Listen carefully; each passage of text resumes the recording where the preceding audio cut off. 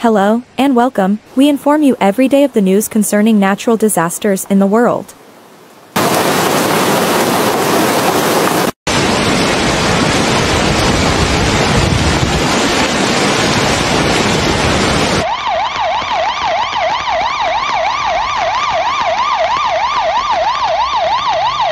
Flash floods hit provinces of Algeria on May 24, 2023, which caused major floods and sowed panic.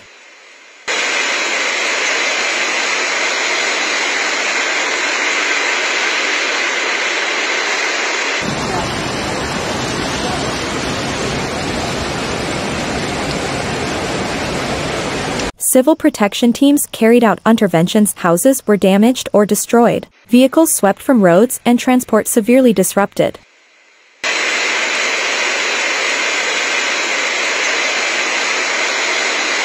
The cars were swept away by torrents of mud. Several roads are also cut off to traffic in Tipaza.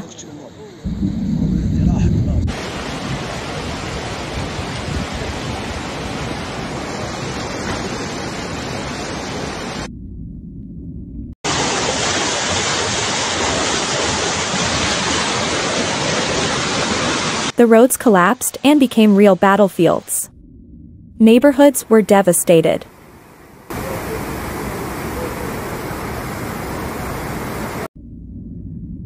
Thank you for your attention, and don't forget to subscribe to my channel to like and comment.